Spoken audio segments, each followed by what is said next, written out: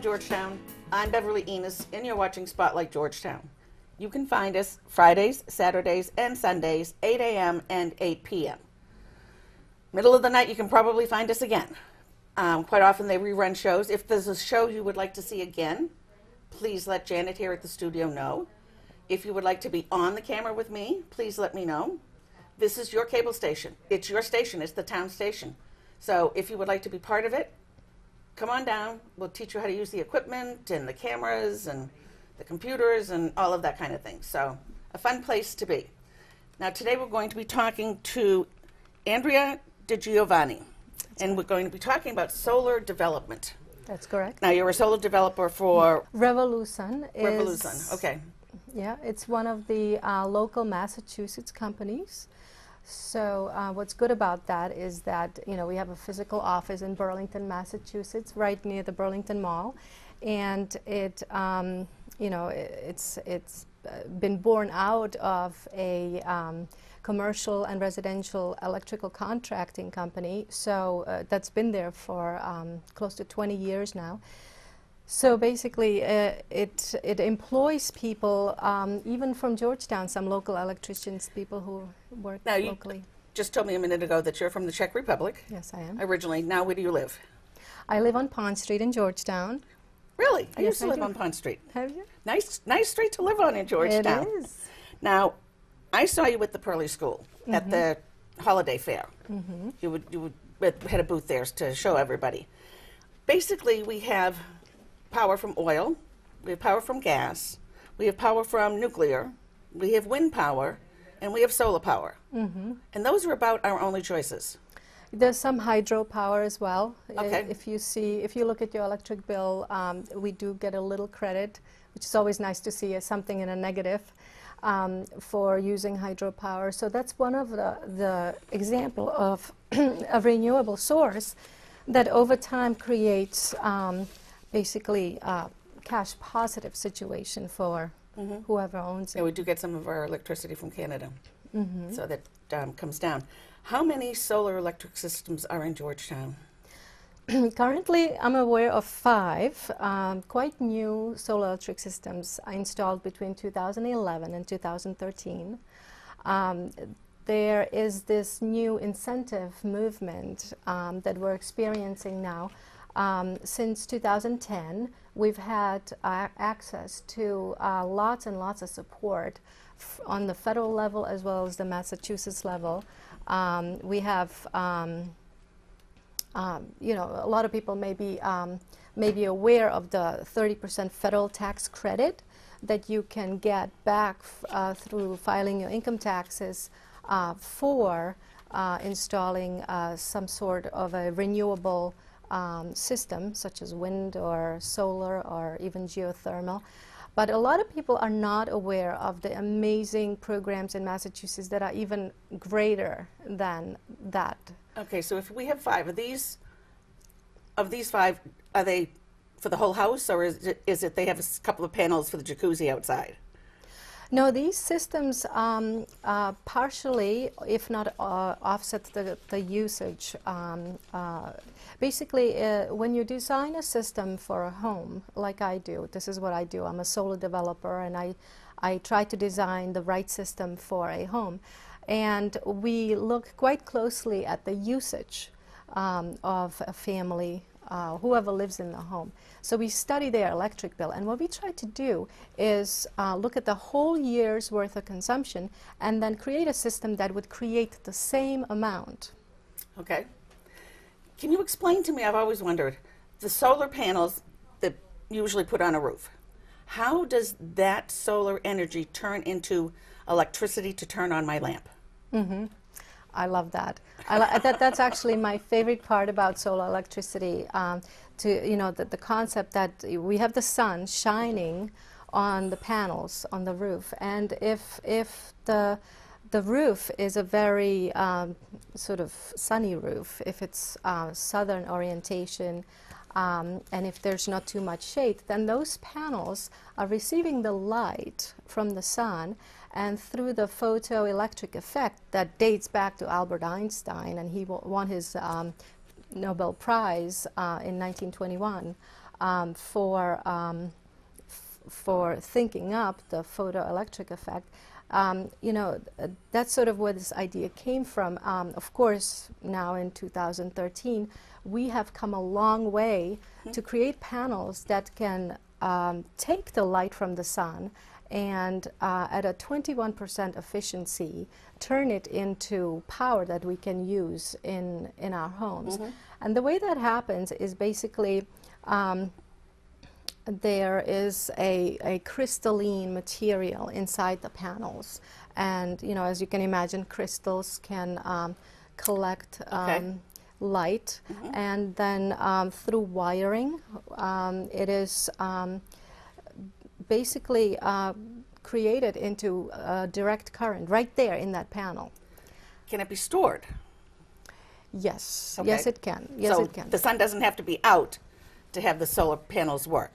Yes. However, um, so you know the technology's been around for a while, and there are many solar systems already operating for the last three decades. So, uh, so. Uh, and these systems have mostly been used in remote areas where, where the um, the grid is just not, you can't tie into the grid.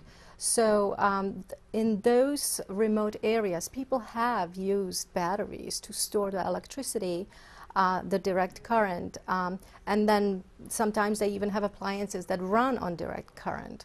Um, Okay. Most of our homes, uh, actually all of United States, run uh, runs on alternating current. So, so what happens? Um, uh, here, what we use here in the United States is um, we need to convert the direct current into Okay. alternating current, and we do that with a with a piece of equipment called an inverter. So it's it's no big deal, and we just convert it in in the house. Is this the same type of power that um, a lot of the signs on the highway now? You'll see a big rod with a, a solar on the top, Sure, sure. and so those are all by solar power.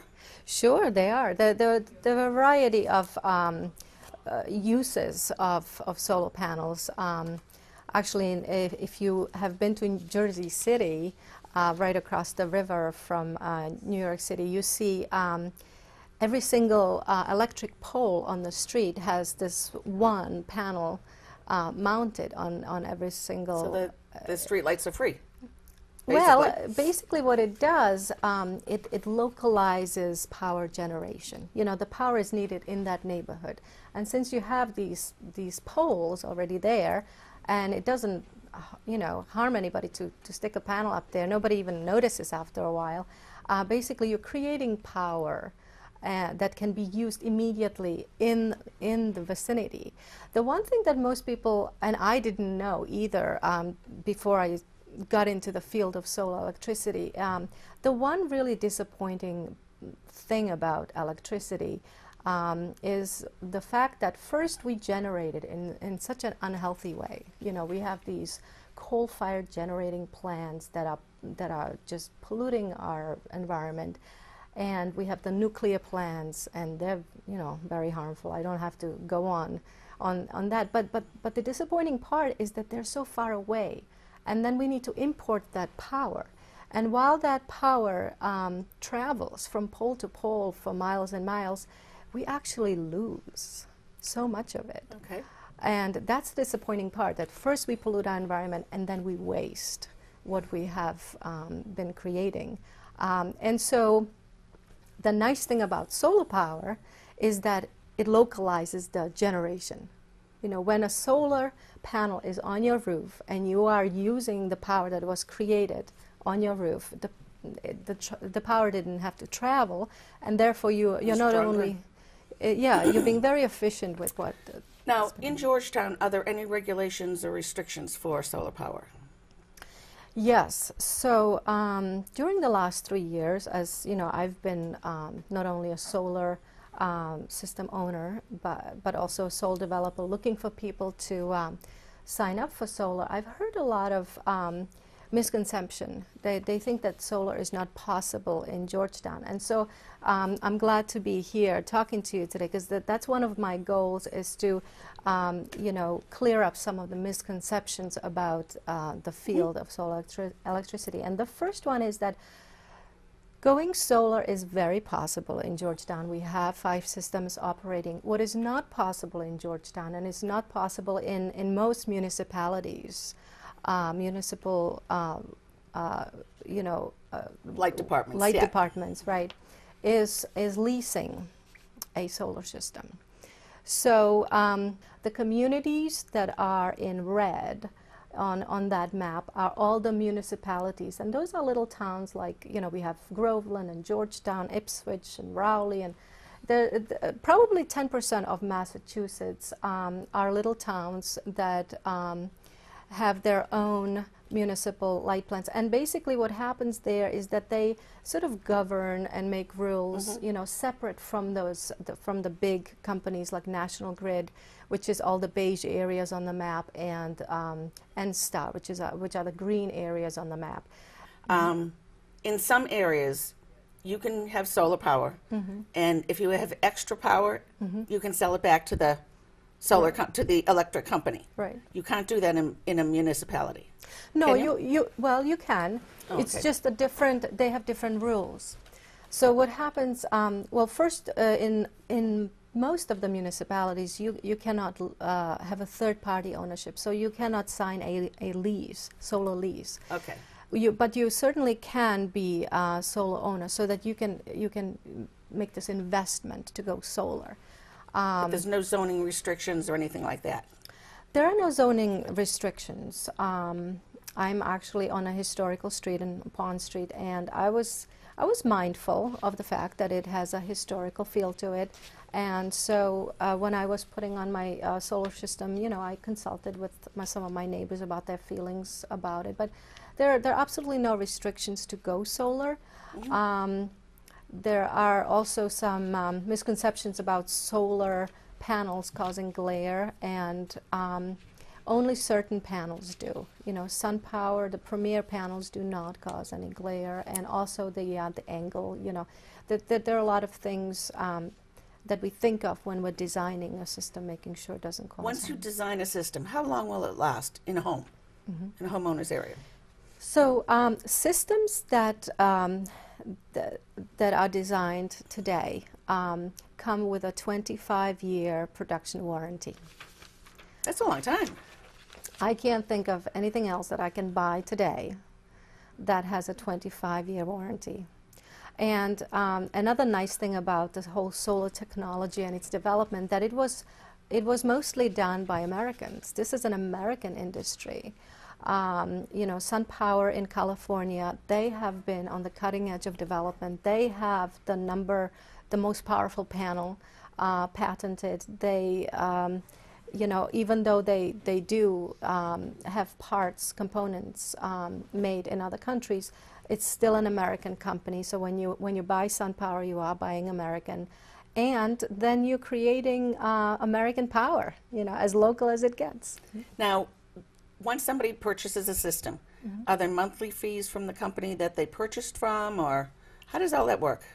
When you purchase a solar system, like, like you're able to do in Georgetown, um, there, there, there are no fees because it's like going out and buying a car. So you buy a car, you know, perhaps you get a car loan to pay that upfront cost of that car, but there are no fees associated with it. You basically own this appliance For 25 years minimum. f- and, and it's Working. warranted to Right. work for 25 years, and we expect it to outlast that warranty, as you would, yeah. Now, you earlier you started to talk about the federal tax credit, mm-hmm. and that's off the income tax. Exactly. Okay. Now, what's an SREC program? So the SREC, SREC uh, stands for Solar Renewable uh, Energy Certificate, and it's a program in Massachusetts that was um, started with our uh, Clean Energy Center, and Governor Patrick has signed in this legislature, raising the standards, you know, um, of of uh, you know, adding a solar component to the portfolio uh, of how energy is created in Massachusetts. Um, we are very progressive in, in Massachusetts when it comes to solar. Um, we are right behind Washington, D.C., as far as um, what, we, what the SREC program does for the homeowner, how much it supports them financially. And I, I also have a little graph showing that there's only uh, seven states, all told, in, in, in the United States that have any kind of a SREC program, and ours is the second strongest. So this is another tax deduction of some form. It, it, what it is, it's an environmental um, incentive. Basically, uh, Okay. yeah. Um, what is net metering? So you, you touched on net metering earlier and how the, there in Massachusetts, um, separate from the SREC program and separate from the federal tax program, and there's actually even a Massachusetts income tax credit program. Um, there is another program called net metering, and what net metering does um, uh, is the, the basic concept of what net metering is and how it should work is basically the sun is up you know during the day but it's it's basically your system goes to sleep with the sun so there's a good amount of hours when uh, you cannot depend on your solar system unless it's being stored in a the energy is being stored okay. in a battery so instead of storing uh, energy in, in a battery, and by the way, that, uh, that technology is coming along, but it's not quite there yet. So what we have instead of a battery is a net metering system. Net metering system, it's, it means that you're interconnected you stay connected to the grid. So you stay a customer of the utility. Okay. But what happens is that whenever, um, whenever there's a bright sunny day and, and you have all your appliances on and, and your air conditioning's going and everything's satisfied, but there's still more energy to go somewhere, then, then the wire that connects you to the street is able to actually send energy out to the street as well. So the wire can work both ways. Um, what can't work uh, both ways is your current meter. So the current um, electric meter on your house right. can only keep track of energy coming in. So what they do is they actually give you a different meter. It pretty much looks the same, but it's, it can measure three things. It can measure the current coming into your house, mm -hmm. the current going out to your house, mm -hmm. and then the net effect. So that kind of gives you a, an idea of what net metering is about. When we design a system, we, we look at an annual um, consumption of electricity. And then knowing if, say, say you consume um, 7,000 kilowatt hours in one year. So then we'll design a system that will also create 7,000 kilowatt systems in one year and through net metering, basically there's a give and take idea uh, where um, in most communities that are not municipalities in, in national grid territory. And, and this is the one we can't do in Georgetown.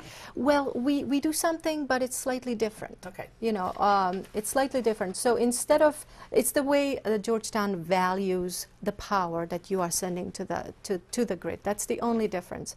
Um, you still have a net meter on your house. You're still sending your energy um, that supplies your neighborhood, basically. It's still localized. Um, nothing's wasted. But what happens is that when, when Georgetown is receiving your power, they look at it as a wholesale priced yeah. power. So okay. it's at a lesser, they reimburse you at a smaller, uh, maybe at a third uh, of the value of, of retail, um, which is, which is, you know, something. It's better than nothing. Um, uh, you know, but uh, it's it's good to know that our neighbors in uh, Newbury, West Newbury, Boxford, Topsfield, Haverhill, because they're with National Grid, they are their their power when it goes to the grid is valued at a retail level. They're actually the the idea behind net metering is simplicity you know, you have, uh, let's say you have a thousand kilowatt hours in one month coming into your house, and you're sending out 800 kilowatt hours. So basically, the customer gets charged for 200 kilowatt hours. Boom, you're done. The accounting's over. It's it's simple. It's when, and you touched on this a minute ago, and I just want to clarify it for myself and for other people that don't know that much about solar. When you have that bright sunny day mm-hmm. and you've got the air conditioning on and you're washing your dishes and all the things are going on, does the meter outside your house actually stop? I mean, you can sit there and watch the meters and they go woo woo woo, woo. Mm-hmm. Mm-hmm. and it does it actually stop? Sometimes it stops and sometimes it goes the opposite direction. It can spin backwards. And basically, that's where That's the giving out part. Okay. Exactly. All so right. these meters are, are pretty smart. They can measure three numbers all the power going out, all the power coming in, and also the net effect. So sometimes you have arrows going left, and sometimes you have arrows going out, depending on how bright it is outside. Can this be used for businesses as well? Yes. What's great about these uh, solar incentives is that they benefit homeowners the same as they benefit businesses. So as long as a business can show profitability and they have a, a federal tax um, liability, they, they will enjoy the 30% tax credit against their liability. So it takes a profitable business to be able to um, to install uh, a solar system and make it a viable choice. And as far as the SREC program, which is even greater than the 30% federal tax credit, because in, in my case it actually um, covered close to 50% of the cost. And Oh, that's, wow. on, that's on top of the 30% federal tax credit. And I have this ni- nice little chart that, I, that we're going to show you um, uh, that shows, you know, the, the incentives, how, you know, a little pie chart that shows you how much of, of each incentive has covered the cost of the, of the solar system. And so these SRECs are available to homeowners, um, to individuals, uh, as much as business Good. owners. Now, how do you decide if a building is right for solar? Hmm. Not every building is going to, not every home or business is going to be right for solar. It- You're Mm-hmm. just not going to save any money doing it. Okay, how do you decide? Well, first, um, you know, um, it helps to have a sunny roof. That's actually what inspired me first to look into solar electricity. I was standing um, at my window and it, it was cold outside. It was maybe 20 degrees outside, but it was a bright winter um, New England day. And I felt hot standing by my window. The, it, it was very hot. There was a lot of heat coming in. And I just noticed this about my home that, gee, you know, there's a lot of sun. And I wonder if, you know, if, if passive solar works, then most likely um, solar electric will work as well. Um, if you, when I go out to, to see a home and to meet a customer, um, I do some measurements. I, you know, I take a compass and I look for southern orientation. And um, even if a house has a east-west orientation, it still works. It still works. We just put panels on both sides of, of the roof. But the southern orientation, basically what it means is if a house, if um, if this is a roof, and then you have the and then you have the uh, uh, you know early morning sun rising and uh, going across the sky all day long, setting. The, those panels are able to work all day long. So you need some, preferably a house that doesn't have a lot of trees around it Mm-hmm. because you want the roof to have sun all day. Does it have to be a certain pitch?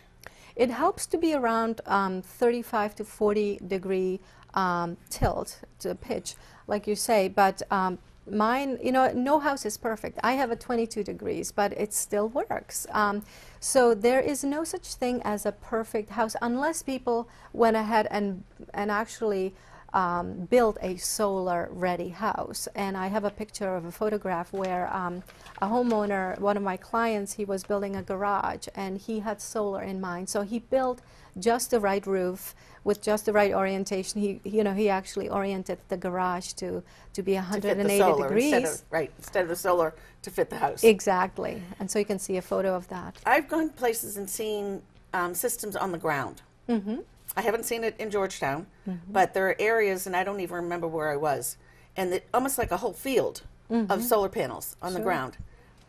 Uh, What's what's different about that, or how does that work?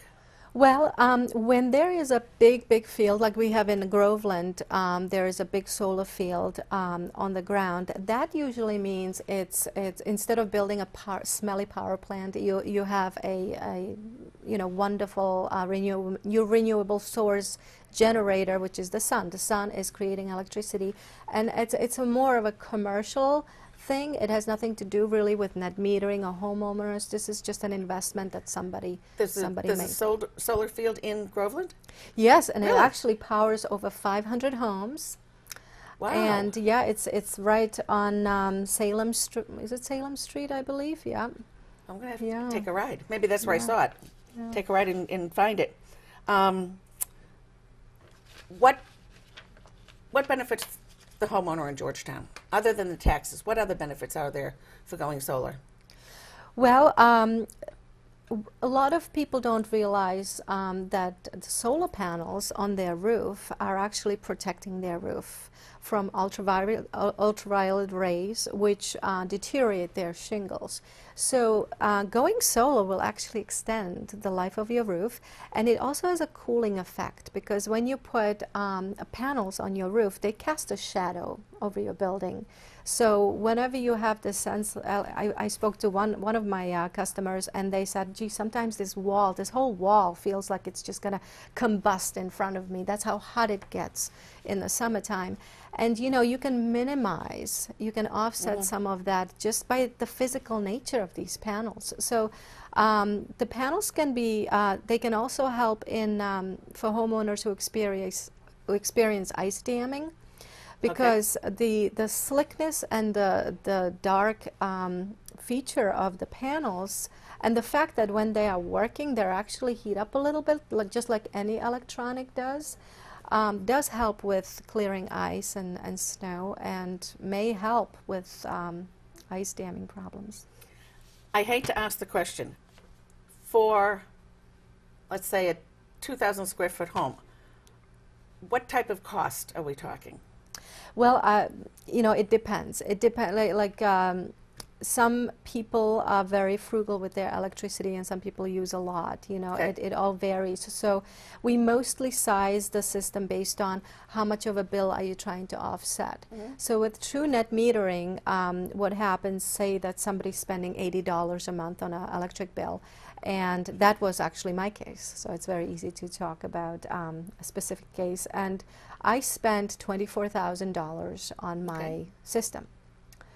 And it sounds like a lot. It sounds like I went out and bought a car. And, and it did feel like that a little bit until um, April rolled around and I went to my accountant's office. And just from the federal tax credit, I got back $7,000.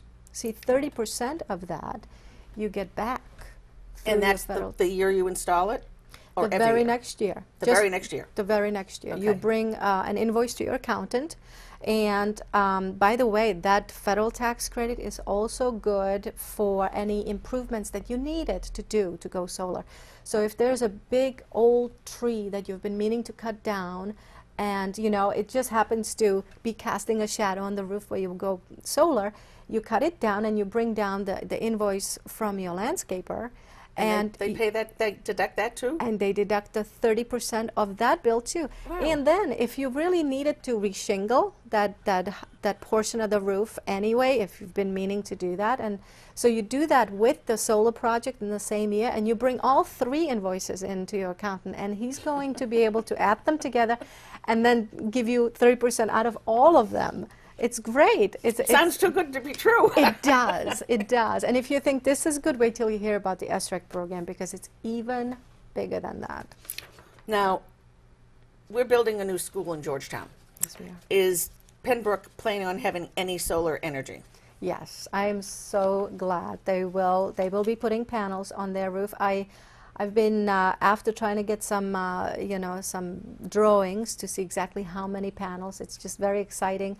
I know they will also have a green roof that you can actually look out and uh, you know see the panels. And um, one of the suggestions of, um, of of another customer in Georgetown that I was speaking with. Um, you know, he really thinks that it should be an educational um, as it should have an educational aspect. It shouldn't just be some panels that you look at, but there should be a, a monitor displaying the production So they Because- can use it for science department.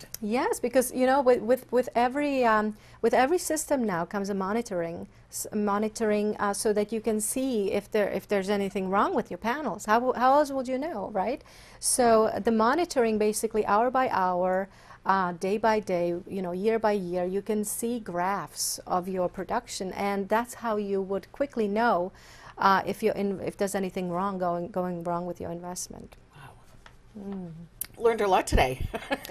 Well, I, I really can't I encourage people enough to think about the solar um, electric systems as an investment. You know, um, I think it's the right thing for young families. You know, uh, we, we all are looking for, you know, how do we invest, how do we save for retirement, how do we save for our college uh, education of our children.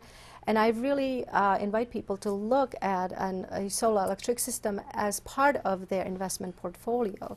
It not only w- uh, yields a healthy annual return on investment, but you are actually protecting the environment to, to, to leave. It's to definitely going green. Yes, It's definitely going green. Yes. Well, I'd like to thank you very much. Thank you. It's been nice having you here. Thank you. you. very, Thank you. very much. Very interesting.